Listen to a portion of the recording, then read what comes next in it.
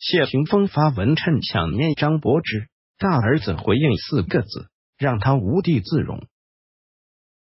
首先，谢谢你长得那么美，还来看小编的文章。小编诚惶诚恐，要是有什么意见或者想法，都可以留言告诉小编哦。无论好坏，小编都会认真看，小编会根据你的意见不断改进哦。希望能给你带来更多的有意思、有趣的文字，希望你能多多支持，愿你天天好心情。在娱乐圈中，在一些大牌明星与大牌明星之间。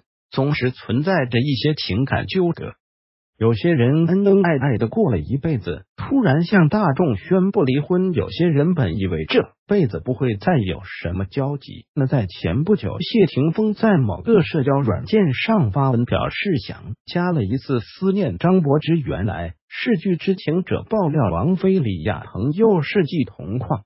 大家都知道，李亚鹏号称中国好前任，两人离婚这么久。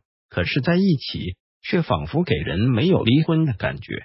李亚鹏还当中夸王菲漂亮呢，不过这可让谢霆锋打翻了醋坛子。难怪谢霆锋在某社交网站发表想家想张柏芝的心情了。而谢霆锋万万没有想到的是，他的这一番感慨却让网友们怒了。王菲不理你，你就想起张柏芝了？你当张柏芝是什么人呢？话虽然听着不好听，但是谢霆锋这话说的确实有点朝三暮四的感觉。标签：谢霆锋、张柏芝、大儿子、小编、意见。不过，当谢霆锋发文表示想加后，他的大儿子却只回应了四个字：不欢迎你。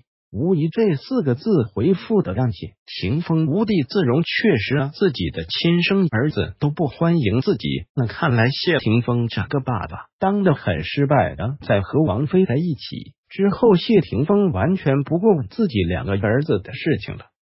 当那两个儿子过生日的时候，谢霆锋都没有送上自己的祝福。如今他的大儿子这样回应，不少网友都表示。话虽然扎心了，但觉得大儿子说的话没有错啊！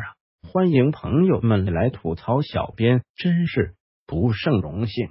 动动手指给点意见吧，有什么想说的都可以留言，好的坏的，小编都会虚心接受，小编会努力改进，希望给你带来很多的欢乐。